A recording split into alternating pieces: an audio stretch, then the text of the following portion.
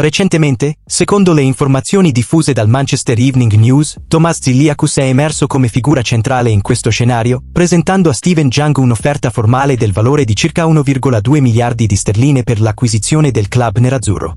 La proposta di Ziliakus pone l'attuale presidente Jung in una posizione decisionale cruciale poiché la scadenza per ripagare un prestito del 2021 ottenuto da Octree si avvicina rapidamente, con scadenza il 20 maggio.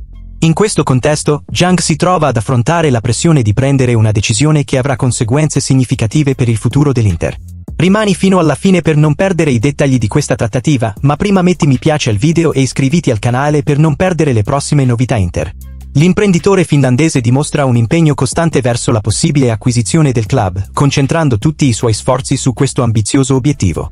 È interessante notare che Ziliakus non sta prendendo in considerazione un investimento nella Premier League, il che evidenzia ulteriormente la sua attenzione esclusiva all'Inter.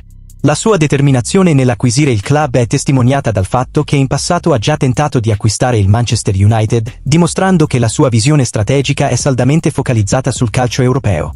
In questa nuova impresa finanziaria, Ziliakus ha il sostegno della sua società di investimento, composta da dirigenti diversi da quelli coinvolti nella sua candidatura al Manchester United.